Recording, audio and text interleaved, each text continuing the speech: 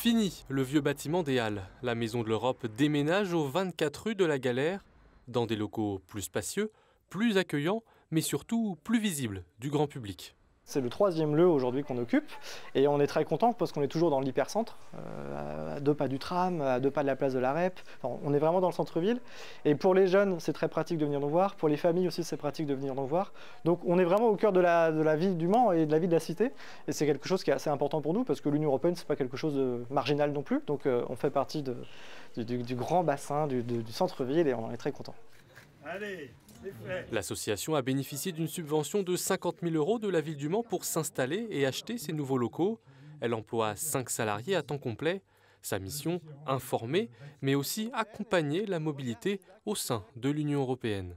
Alors hier, on avait par exemple un père et sa fille. L'objectif, c'était que pour sa fille, il puisse y avoir une mobilité à l'étranger qui puisse se faire. Après, comment, de quelle manière, on est là pour ça? Donc avoir un projet de stage à l'étranger, c'est quelque chose que l'on peut aider.